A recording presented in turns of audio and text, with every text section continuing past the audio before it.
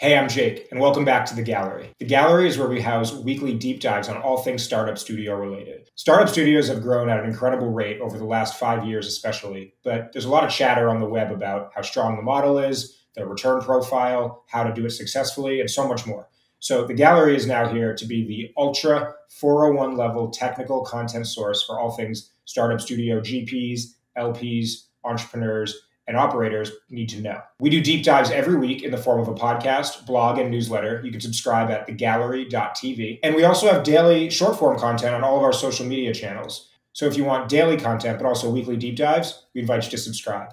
Without further ado, let's dive into today's episode.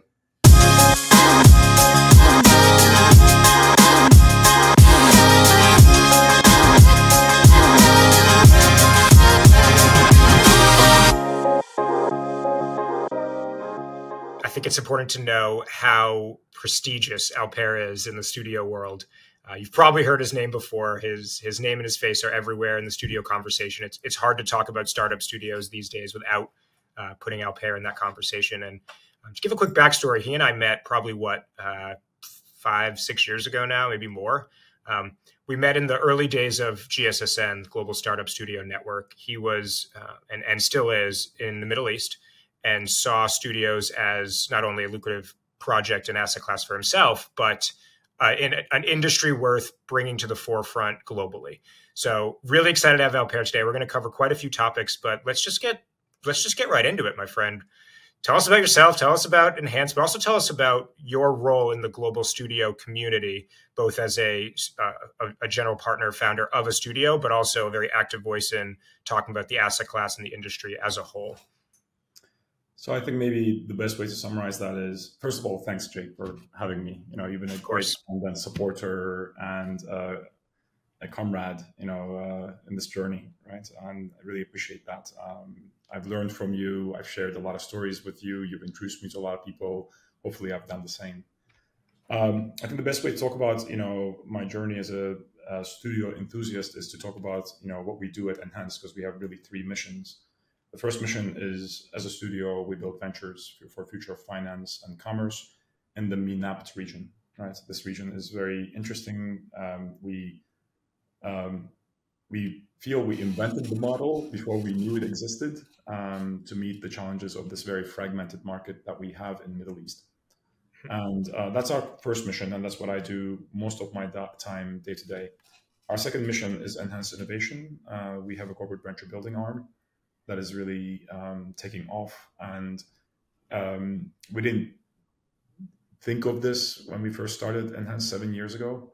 But in the last two, two and a half years, it has really taken off. And there's too much demand, frankly, because the studio model seems to be a very interesting tool to apply to corporate innovation needs. But yeah. the third thing is, I think, maybe more relevant to this conversation and why I have conversations like this is our third mandate, our third mission to um, learn and increase and then you know spread studio knowledge and studio expertise. Um, when, when we met we knew nothing compared to what we know now. Yeah. i hope that what we know now is nothing compared to what we will know let's say five years from now. Sure. And and in that journey um, i have been uh, i'm a studio nerd. I think that has become a common term among you know the select group of us that are just you know nerding it out and we do a lot of you know um, research and analysis of the studio model and try to improve it for ourselves and for the use of others.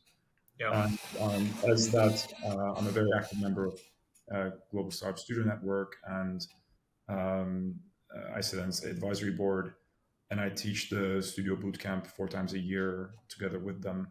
Um, we also hold events. We had one in dubai um, Venture Studio Investment Forum back in May. Uh, next week, we're hosting the studio stage at GITEX, the world's largest technology conference here in Dubai. Uh, so we do these things, and we try to, you know, publish, you know, uh, things as well. We had a very popular white paper some three, four years ago. We co-authored yep. some papers with GSSN, etc. as well. Um, and uh, final thing that I'll say is like it's it's become a life mission. Um, and that I think the need in us to push forward with this model and try to improve it and use it comes from a, a place not only as investors and you know people who are trying to create good returns, but also trying to just improve people's lives. We think that entrepreneurship is um, much more difficult than it needs to be, and um, it needs different and better forms of support to succeed better, not only for the investments to generate better multiples, but for the lives to generate better outcomes as well that are involved in it. Sure. The founders, the founders' families, founders' extended families, founders, you know, employees, etc. There's too much misery out there, and we have to try and do better. Yeah. And um, so that's that. That I think that is what motivates us. Um, being a studio founder is not easy. Yeah, it's very difficult. We'll touch on it probably, but um, yeah. When you have that kind of mission of you know hopefully improving thousands and hundreds of thousands of lives, um, it seems to matter. So let's say I am a wildly sophisticated and successful investor in general, and I am considering becoming an LP in a few venture funds. I'm looking at a few funds. I am. I have a family office of my own, and I am considering maybe investing in some studios. I've heard about studios. I'm hearing some chatter, but it's very polarizing and I don't really know how to make uh, the right assessment here of like what really is a studio in general and then if I do want to get into one what how do I even assess begin to assess and find the right ones and my first question then would be well, well tell me about this as an asset class past present and future like what has gone on with the studio world over the last what 5 to 10 years where are we at now and where do we see this going how would you answer this for that sophisticated investor so when this question comes up, you know, what, why an investor should choose a studio versus, let's say, a direct investment into a startup or a venture capital fund, there are a couple of storylines that we follow. Um, one is, uh, do you believe in value of prof- professionalization, right? Because what we're trying to do as a venture studio is to make what is otherwise an art. It's almost like this mythology of this, you know, mythical uh, founder creating this mythical unicorn is almost artisanal, right?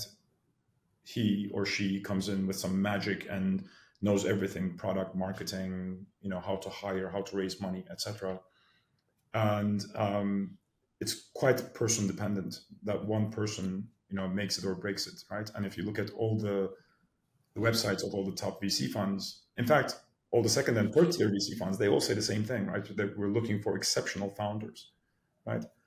And I think to that investor, we say, well, that's all great, but how many perfect founders do you know, right? Um, and um, would you drive, you know, a, a, your car if it was made by a single garage with one mechanic? and its helpers? Mm-hmm. Or do you trust Mercedes Benz or Tesla to build a very sturdy, amazing vehicle for you? We are that factory that we, we come and say, let us have a more professional approach to what has been until now in smaller quantity been done in an artisanal way and say, hey, there's a process to this. And building a company can be a professional, process driven, and uh, learning organization uh, output, you know, um, in itself. So that's one story that we say, right? Like, do you care? Like, if you look at industries out there, every industry that has become a mainstay of you know our economies have been professionalized, right? Some have been professionalized over the last 50 years, some 100 years, some has been three, four decades, right?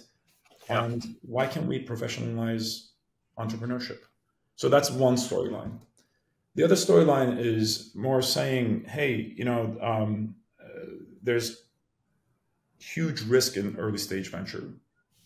And right now, that risk is um, greatly taken by investors. Um, and when there's success, the biggest positive outcome is for the founders, right? Okay, that's great. like when there's a you know uh, when you find the google or facebook and people make hundreds or thousands x their money that's great. But for majority of the outcomes there are failures. Um, the founder ends up getting some education right? And in more advanced ecosystems can continue to build the next thing. Whereas the investors are just you know have a complete loss we're saying hey can we balance that out can we while we professionalize entrepreneurship have a different risk and reward balance in that very early stage, the riskiest part of venture. Thus, to an investor coming in, we say, hey, in venture capital, you may have X equity for your million dollars investment in early stage. Um, what if we, as a venture studio, give you one and a half or two X by having you, you know, take that early risk, stage gated, right? And then what if we then if we are good as a studio, also give you a higher chance of success because we're a learning organization. We have skill sets, we have technologies, we have technology stacks, we have growth hacks, we have networks, we have biz dev capability, etc. So that's the other storyline that we we talk to investors about. Um, and at the end, I think what part of your question was, how do you know what is a good studio? Like where where should they invest? there unfortunately we have to cycle back and come back and, and, and go against my you know uh, own argument and we say i think um, at the end this professionalization of entrepreneurship relies heavily on the professional that is leading it so um, the founders of a studio have to have done it before have to have the critical mass capability of you know building the, the product team building the customer team building the the company team mm-hmm. right? And and being able to raise funding for themselves as a studio but their ventures. And very critically be so good that they can attract talent even better themselves right? Because the talent does of course matter. Um, so i think that still defines what is a great studio and then of course there's the secondary things on you know what are they trying to build? Is there market need for that? Uh, what market are they in? You know um, what what problem are they solving? For example as enhance. We're we're, ge- we're a geographic platform. Yes we do fintech and commerce but we're also in nine countries across this region. So when you launch with us we can take you to the second third fourth country much faster than you could go by yourself. Or sure. you could go even with a venture capital fund right? Because it's not their business to launch companies like we need launch companies Yep. Let's talk about the ge- geographic part of it because that's a big that's a big thing here. Why are you doing a geographic play, and, and what do you think is important about that for studios in general? It's very interesting because look, the um, the studio model is comparatively better when applied to markets with more friction. Hmm. Um, so I think the Silicon Valley model in Silicon Valley works quite well. The platforms on which we are talking, you know, these devices that we use, um, the, the technologies that change our lives, uh, mostly have come from that model, right? Who am I to argue that Silicon Valley model doesn't work in Silicon Valley? However, when you remove yourself from that reality where there's a lot of capital, a lot of ideas, and a lot of talent, and a huge market, the press of a button, 350 million people, 21 trillion dollars is at your, you know, um, uh, your fingertips. When you remove yourself from that, suddenly the founders need much more help, right? Funding is more scarce, talent is more scarce, you know, ideas, you know, are are more difficult to come by, right? There's regulatory issues going from one country to another. There's currency issues. There's country risk, etc. Right. Mm-hmm. The moment you have that, uh, the founders need more help, and who can give that help? The Silicon Valley model fails.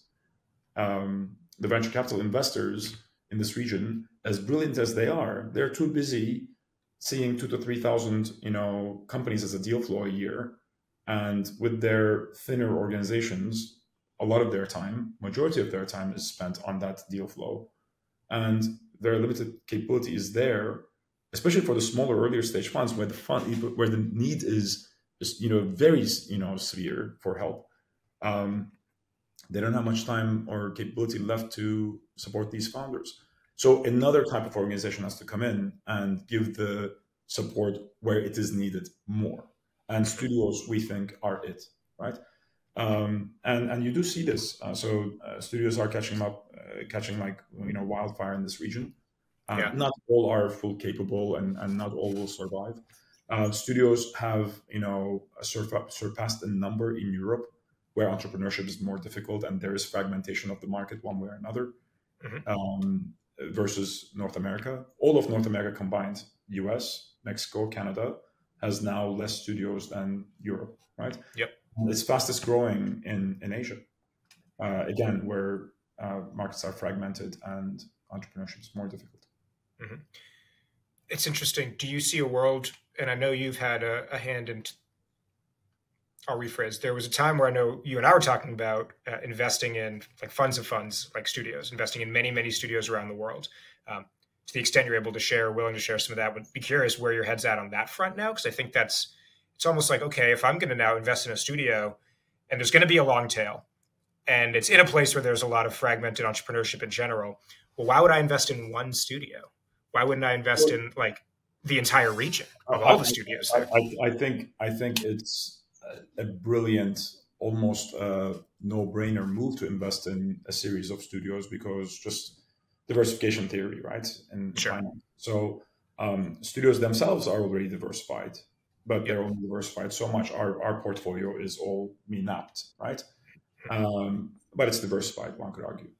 But um, I, we still remain very interested in investing in studios. In fact, um, we just announced a fund together with you know Maro, the Jason mm-hmm. parent company, um, to launch the Global Studio Fund to invest twenty five million dollars into uh, uh, ten to fifteen studios around the world, truly globally. Yep. Um, that's the first fund. Um, uh, we feel that that is going to be the easiest raise we've done.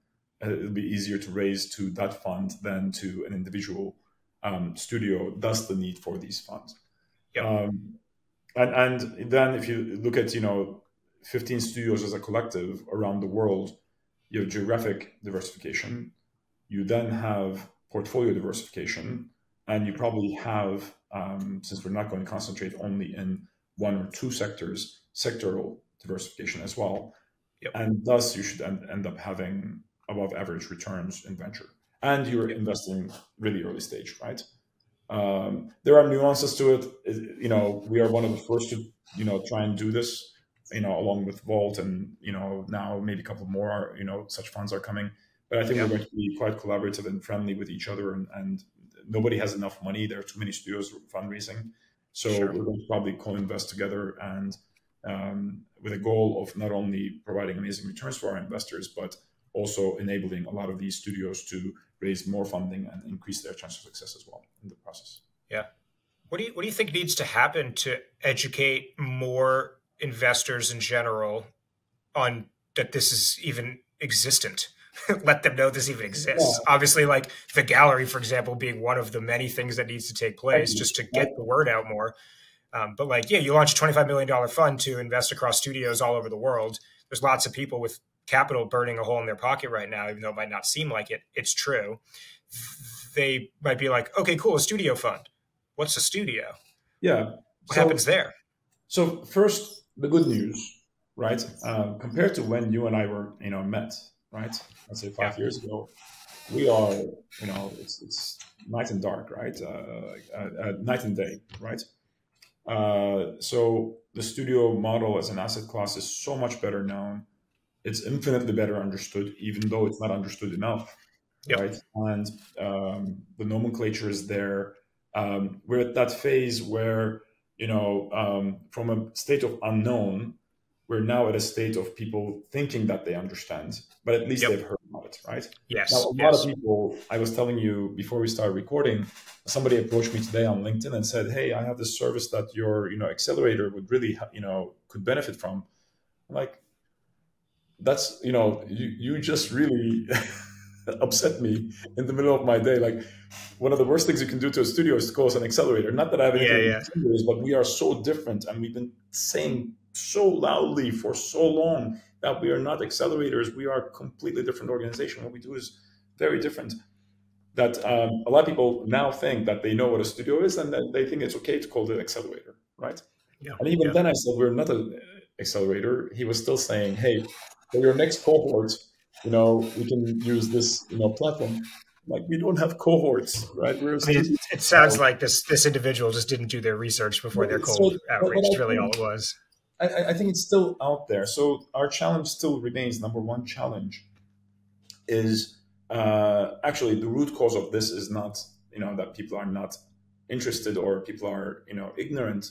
Uh, the root cause is that we as a studio asset class, these studio founders that are raising money that are out there trying to attract you know investors are not telling the story either right or not um, congruent enough or like it's just where there are too many versions of a studio. Right we still don't know. We call ourselves a venture studio do we call ourselves a venture builder do we call ourselves a startup studio even the nomenclature. Can you imagine like if accelerators have like three different names?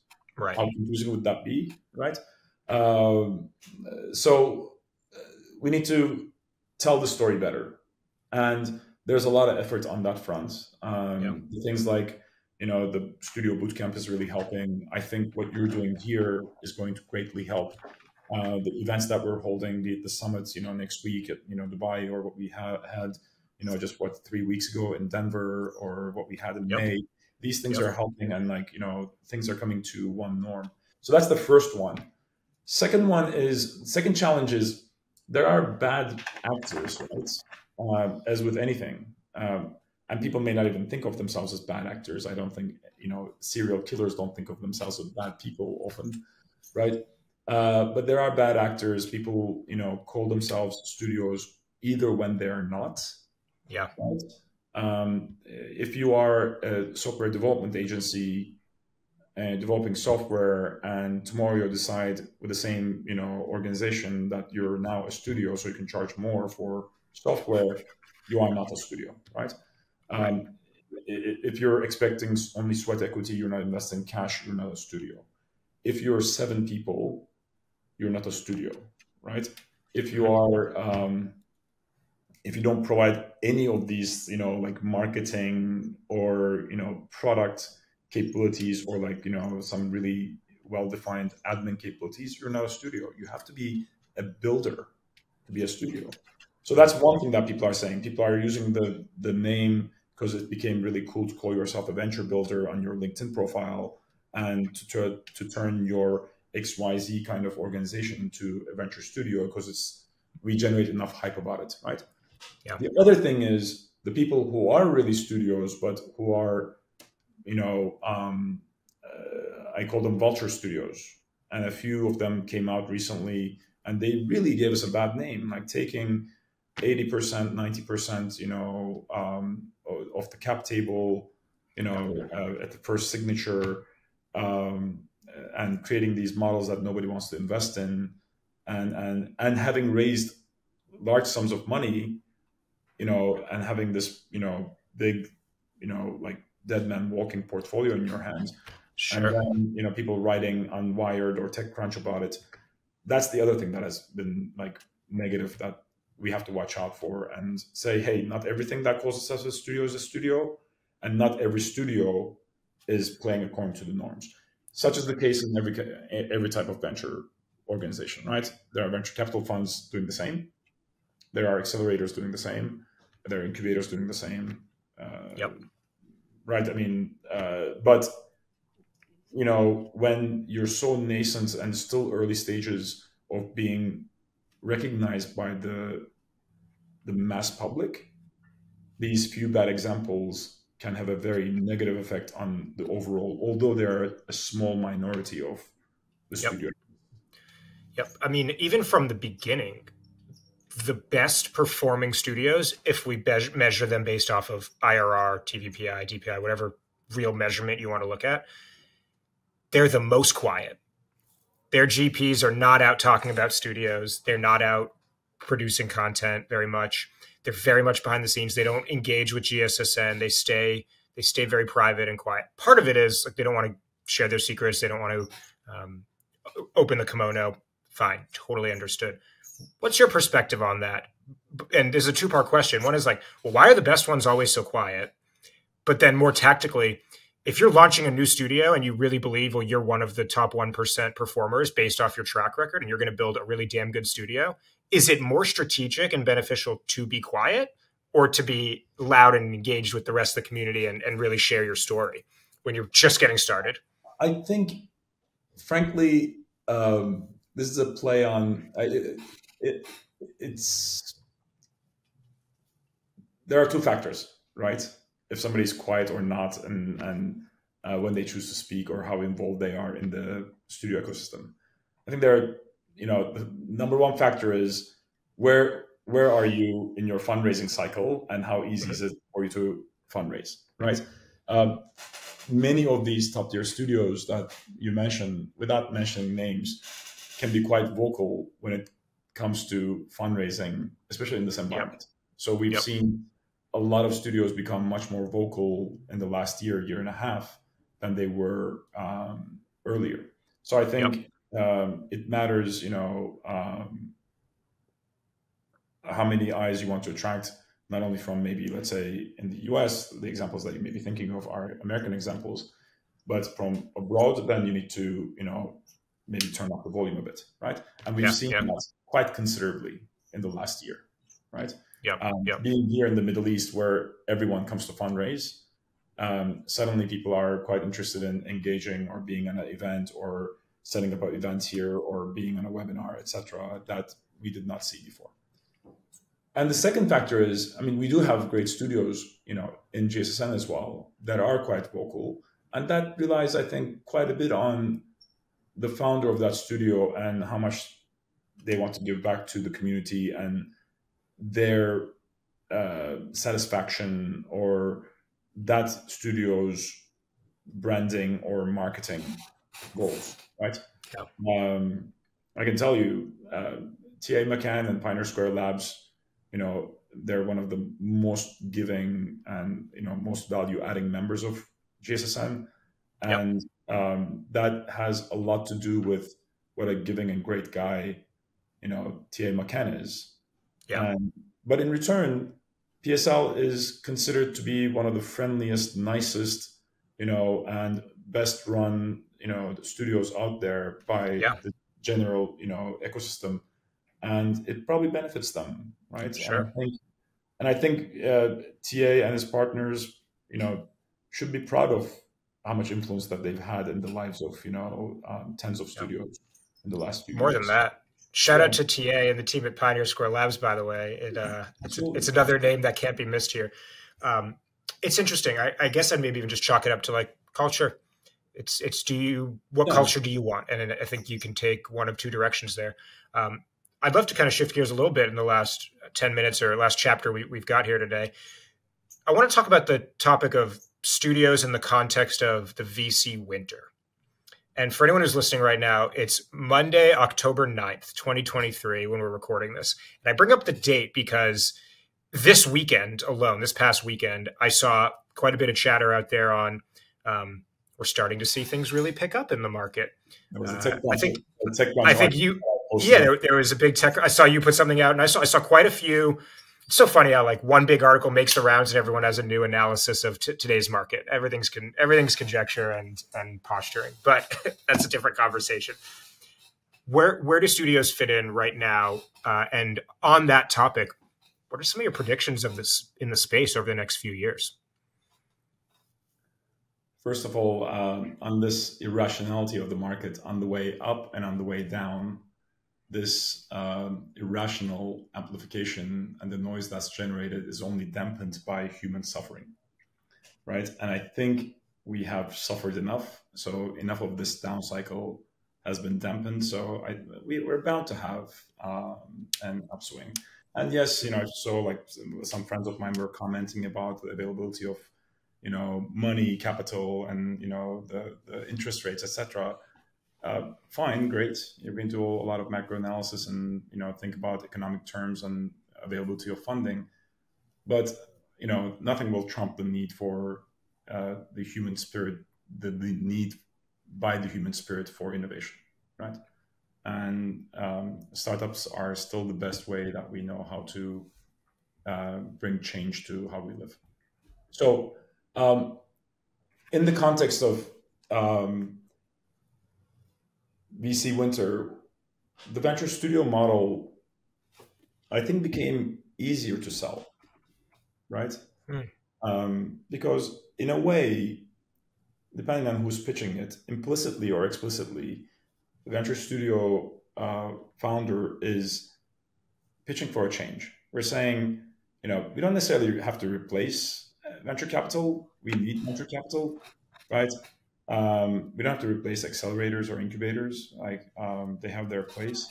But we're saying, at least we're saying, we need to be added, right? This is a need for change in the basic makeup of a venture ecosystem, right? Studios have their place; they will be there forever, and it is, you know, an upgrade to the current way that at least some number of early stage ventures are built.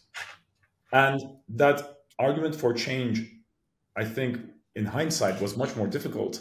You know, three years ago when money was falling from the you know sky, and and everybody was just like you know dropping you know money on whatever the latest hype was, you know, Web three and you know etc. Uh, and crypto and um, but now uh, I think there's been re- real soul searching happening, and you can see that soul searching happening uh, by some of the top tier VCs because they should lead, right? They have the means, they have the brand power for change before you know a first time fund, you know, uh, manager with a fifty million dollar early stage fund, right? They're not going to be the ones saying, "Hey, this thing is not working, Liz." So you do you see it in Sequoia and Accel and Andreessen and, and, and you know. Um, they are saying, hey, you know, we should look at how do we more properly support our founders. Let us have bigger teams, right? And start taking some of the roles on or employ people that are, you know, portfolio companies cannot employ because, you know, uh, this growth hacker or this CTO would rather work for Sequoia than one of our portfolio companies. Or let us launch some studios, right? Um, who was it just recently launched one? The it was a famous fund. Now I'm drawing a blank, but um, so uh, I think we're going to see more of this. I think we're going to um, start seeing studios on one hand raising VC funds as a funding vehicle of their portfolio companies, and yep. selectively also investing outside. Although I don't necessarily like that model, but our friends in US Atomic and you know, um, High Alpha, PSL, you know, they all do it. And then VC funds, billion, you know, plus dollar big funds coming in and saying, hey, part of this, you know, we're going to dedicate to building from scratch and we're going to build organizations in which we can do that. Right. Yep. We're going to start kind of coming into the center because we need more funding and ways of, you know, non-dilutive funding vehicles to build our portfolio and they need to find ways of supporting you know the best outcomes that they get is investing in early stage those early stage founders need to be supported in, in different ways better ways and and the last thing i will say it's actually like the opening slide of my um of my you know state of the studio world talk um there's um, like there's an image of um, a medieval walled city, right? Um, we human beings have come up with amazing economic improvements in the worst of times. During medieval times, we invented a lot of technology around weapons and became very efficient at killing each other. So one way to fight that off was, you know, building these walled cities so that you know you could be safe from you know trebuchets and cannons and you know or just you know a, a, a knight with a sword and a you know horse. Um, but when you were living in a walled city, it was very difficult to go and do your farming, etc. And people started becoming specialized.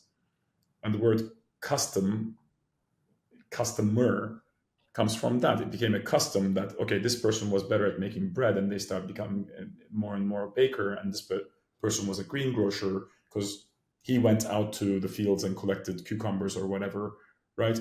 So uh, the overall economy dramatically improved because everybody became better at what they do and became more efficient. and there was this amazing economic growth that resulted from that. I think maybe the you know if I put my you know very optimistic rosy glasses on, um, I'm hoping this hardship that we've gone through in the last year year and a half, and this through this VC winter is going to uh, result in something similar. I think we're going to hopefully learn our lessons. Venture capitalist friends, accelerators friends, where I see a lot of them pivoting, and definitely the studio friends saying, you know, hey, okay, you know what, uh, we have a story that fits, and um, mm-hmm. and we will all end up being in a better place as a result. Totally, I love it. Alper, uh, what's one way that people can get in touch with you, and one uh, last like call to action or piece of nugget you want to leave people with in regard um, to thinking about studios these days? So uh, it's uh, one way to get in touch with me is LinkedIn always. Uh, I'm quite active in LinkedIn, so you can find me um, if you just search my name, A L P E R C E L E N. Um, you can search for my like I have a hashtag Studio Man. uh, so that's that's you know uh, what people are have started calling me. So please reach out on LinkedIn. I'm quite active there, and you can follow me. And I try to post on uh, the uh, you know other people's content as well there. And um, there's a WhatsApp group that I started, Venture Studio Exchange, um, so people can also reach out, and I'll, I can try to add them there. And the last piece that I wanted to leave maybe is just uh, this um, maybe the visualization of what I think is a venture studio, and it's from my this famous slide that I have, and that's you know if venture capital is looking for this Superman or Wonder Woman, you know as the this founder that can do it all and that cannot be killed and shoots laser through their eyes. Um, I think as a studio, what we're trying to say is actually we don't have these perfect you know beings uh, that cannot be killed and you know can kill the bad guys just by a thought. Right? We have these real brave people like Tony Stark, and we try to build Iron Man by having uh, you know uh, exoskeleton built around them. Um, I think that's what's needed out there. I think that's what why the studio model really resonates with founders who know their imperfections, and that's I think how we're going to build a more realistic and more successful uh, venture ecosystem out there with the inclusion of studios. Love it. Well, thank you, Alper. It's great to have you on the show, as always. And um, everyone who's listening, definitely follow Studio Man and uh, and get involved. Hey, thanks, Jake. Always a pleasure.